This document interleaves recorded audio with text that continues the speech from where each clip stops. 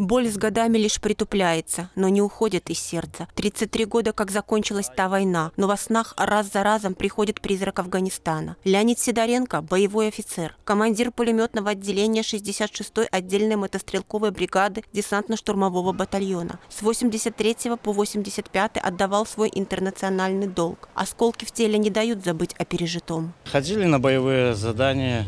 Было всякое, было смерть, все видели, конечно. Погибало много. Раненых было много.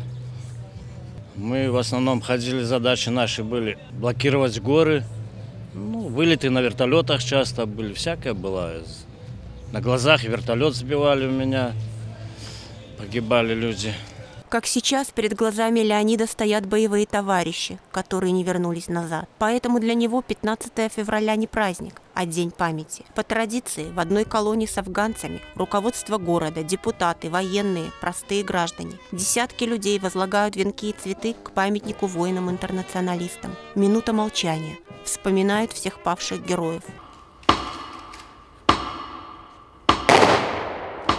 Советский контингент находился в Афганистане почти 10 лет, с 1979 по 1989. Дорогами войны прошло около 30 тысяч белорусов, 771 не вернулся, в том числе 23 бобруйчанина. Мы должны чтить память воинов-интернационалистов, которые отдали свой долг, находясь на той далекой афганской земле. Мы все прекрасно понимаем, наше поколение, что мы благодарны этим людям, потому что мы живем под мирным небом, дышим свежим воздухом, живут наши дети. Мы чувствуем свободу и самое главное понимаем, как все-таки дорог мир, в котором мы все сегодня с вами живем.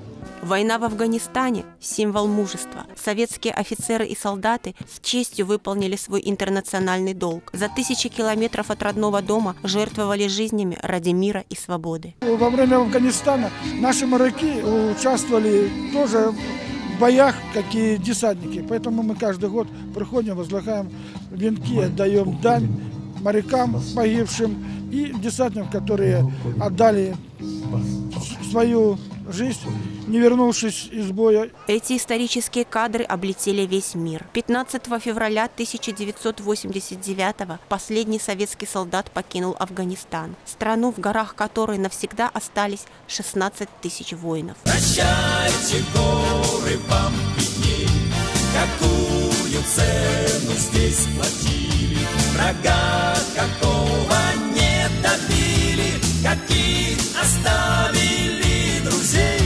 Татьяна Горбач, Станислав Чечерин, Бобруйск 360.